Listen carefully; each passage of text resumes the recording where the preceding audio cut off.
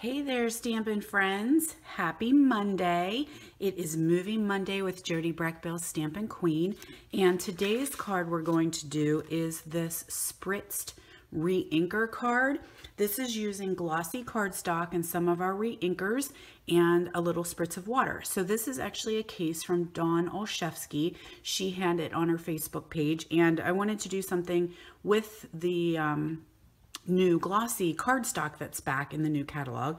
And so this is the card that I chose to create for my Wow Wednesday. So what you'll need is a piece of glossy cardstock. I don't know if you can see it, it's a little bit shiny, so it is different than our ultra smooth white. It's kind of like a photo paper quality, but I can tell you from experience, photo paper does not work. Uh, there is something different in, in the texture, in the creation process. This is just glossy cardstock and this is what you need to create this particular card. Now, it is messy, okay? So you can tell I've been working. Um, you're gonna get your fingers dirty, you might get your area dirty, so be careful with what you are doing where you're spritzing because you'll have some, some um, spray back. So be careful where the rest of your projects are or if you're working with your neighbor, you don't wanna get them inky. So the first thing that we need to do is take a couple drops of Reinker and I have Tangerine Tango and Berry Burst. And you don't need a ton of, of uh, Reinker on there, just a couple strategically placed drops.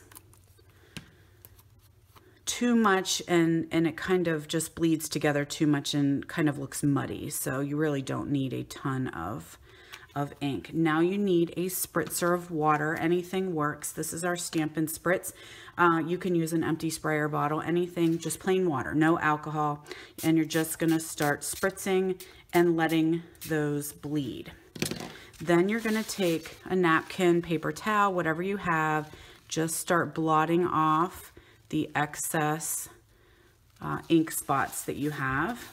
And I like to turn it, kind of keep pulling off and not, tr uh, not trying to bleed the colors too much, just some dabbing.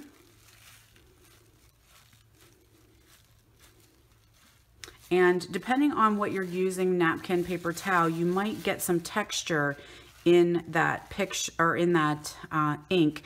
And that's because I have there, there's like my paper towel kind of has some nap to it. And so it just kind of gives it a um, textured look. Okay, so that's all there is to it, just doing some blotting. You're gonna let that air dry, okay? Or you can, if you have your heat tool, you can zap it with your heat tool, but you definitely need to let it have some drying time before you work with the rest of your card. So I did go ahead, there's my dry one, and I'm gonna take a piece of Ultra Smooth Whisper White and attach these two. Now what'll happen, you can kind of see that your cardstock starts to want to, to bend a little bit because you've made it wet. So I do like a lot of adhesive. So I am not going to spare the adhesive on this one because it wants to kind of roll up a little and I don't want my card to fall apart. Okay, so lots of adhesive on that. We're gonna put that layer of Whisper White and I'm kind of wondering if I'm hoping I cut this to the right size. It seems a little large, but guess we'll find out soon. Okay, make sure that is good and stuck on there.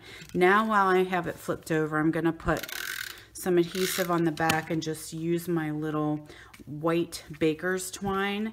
I'm gonna tie that around here, just tacking that in the back. And I have, I did two pieces here a little bit thicker. And then I'm going to take a piece of Berry Burst cardstock as my base, fold that in half.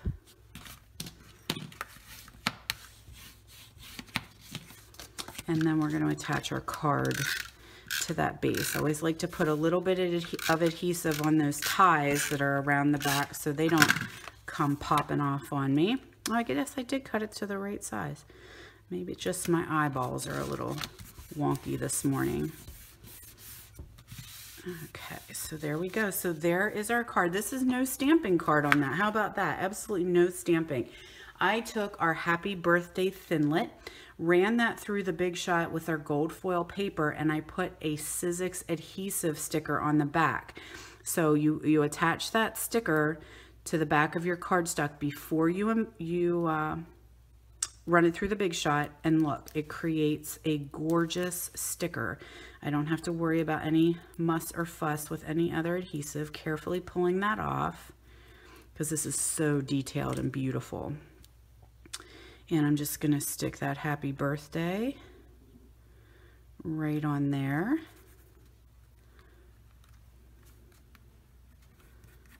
So easy peasy mac and cheesy, right? Okay, took another piece of baker's twine and I'm just gonna slide that under those, those two little pieces there and I'm gonna tie myself a bow, maybe. Let's see if my fingers will be working today. Yeah, there we go. Just a cute little bow. And final final touch, of course, bling. So we're gonna take, these are the gold faceted gems. I'm gonna pop one of these guys off and just put a big one and a little one right there for a little added touch of something something so there you go there is a super quick and easy card using a fancy pants technique um, thanks, Dawn Olchefske. Love this one. You could use any colors. So, so fun and so pretty. So thanks so much for joining me, everybody. Have a wonderful week, and I will catch you next week for Movie Monday.